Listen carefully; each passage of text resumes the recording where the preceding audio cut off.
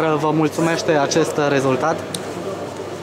Ar trebui să fiu nedrept să spun că nu mă mulțumește. Mă mulțumește pentru că am întâlnit o echipă, așa cum am spus-o și acum câteva zile, foarte, foarte puternică, o echipă cu jucători cu mare experiență.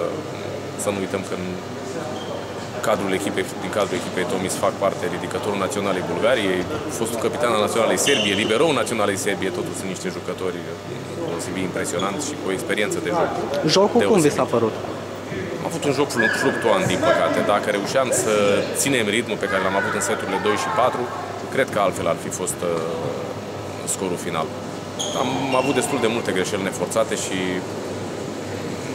deci echipa din Constanța numai atât așteaptă ca adversarul să aibă câteva greșeli neforțate ca să profite. Dar dumneavoastră așa pe ansamblu sunteți mulțumit de... Sunt mulțumită. Am spus, ar fi absurd să spun că nu sunt mulțumit când câștig un punct, chiar și acasă, contra echipei din Constanța.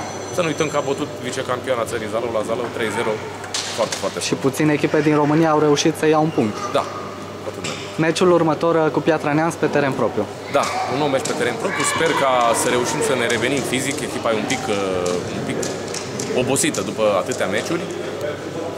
Și uh, îmi exprim încrederea că vom reuși să facem un joc mai bun decât am făcut astăzi contra unei echipe care ne este mai la îndemână și să, să luăm cele trei puncte pe care ni le dorim cu, cu adevărat pentru că ne pot duce ne pot aduce un salt în clasament. Sunt cele două echipe de valori relativ apropiate?